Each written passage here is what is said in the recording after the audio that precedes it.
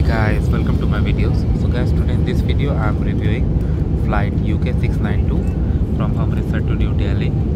And uh, before i proceed further if you have not already subscribed to my channel please go subscribe right now. So guys uh, this is an excellent flight by vistara i would say because uh, cleanliness maintenance everything i do not find any issue at all.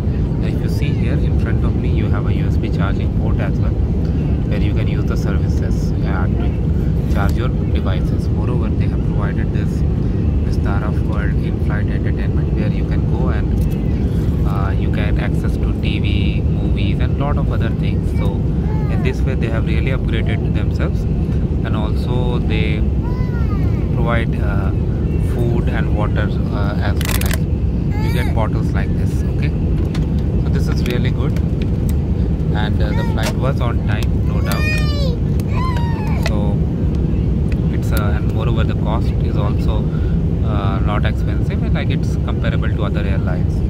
So it is really uh, better to travel in this airline.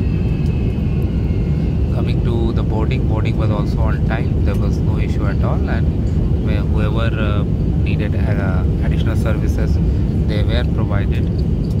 So like if you and moreover the travel time is like just 45 minutes just a few minutes back our uh, pilot made an announcement that we'll be landing in 25 minutes. So it is really good and you can always uh, give it a try.